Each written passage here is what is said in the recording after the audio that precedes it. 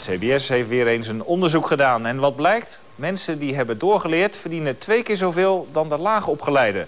Succes kortom is wel degelijk een keuze. En dus sturen wij vandaag onze Daan langs op het Amsterdamse ROC. Up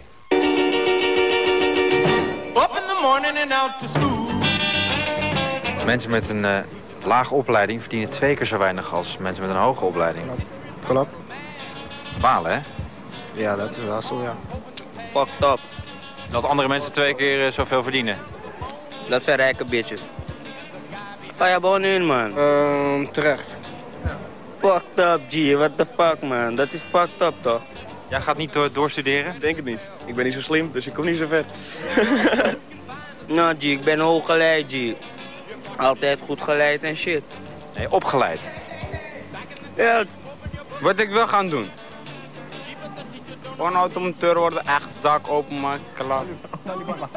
Openmaken, wat is het verschil aan zemmen? Eigen zaak openmaken of de zaak van anderen openen, openmaken? Openen, ja. Heb je denk meer ervaring mee? Ja, ja, samen met mijn oom. Ja, maar ik denk wel dat ik nog verder ga, want...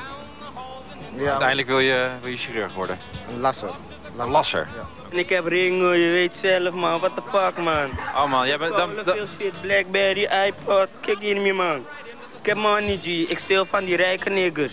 Van die rijke tatas, je weet zelf man. Sorry. Dat kan je ook gewoon doen in plaats van een uh, andere opleiding volgen. Van die rijke tatas, mi man. Ik heb les. Tot zover de pony's. Tot morgen.